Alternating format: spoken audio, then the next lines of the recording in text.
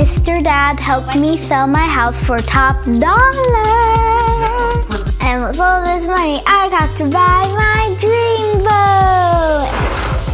Isn't it amazing? Mrs. Mom helped me find a house for me and my growing family. Thank you.